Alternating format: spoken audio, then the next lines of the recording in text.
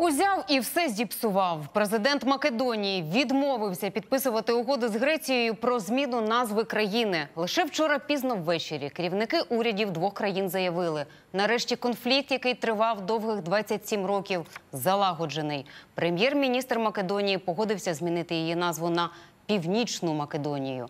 Однак не минуло і доби, як президент цієї країни заявив, така домовленість порушує конституцію, і вона не є предметом для торгу.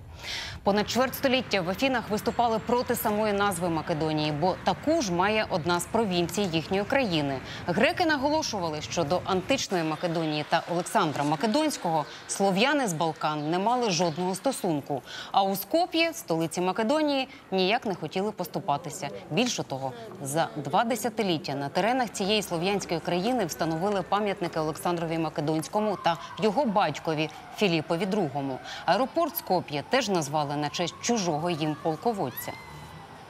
Ми домовилися з нашими північними сусідами, що вони більше не будуть використовувати спадок давньогрецької цивілізації Македонії і в майбутньому жодним чином не претендуватимуть на зв'язок із нею. Нова назва відкрила би Македонії шлях до ЄС та НАТО. Якраз через суперечку довкола назви туди не могли прийняти цю країну. І от у день офіційного оголошення про те, що сторони нарешті домовилися, угода зірвалася.